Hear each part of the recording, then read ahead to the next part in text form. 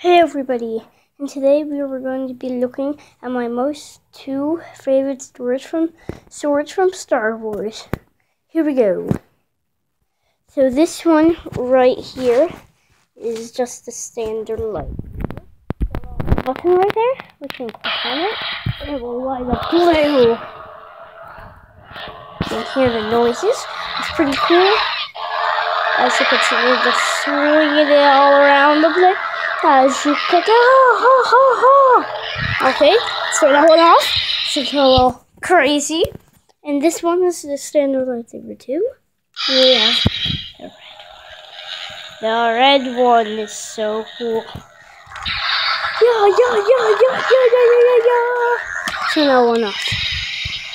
That's about all there is in this video. If you did enjoy it, please leave a big fat like and, uh, and subscribe. See you all later. Bye.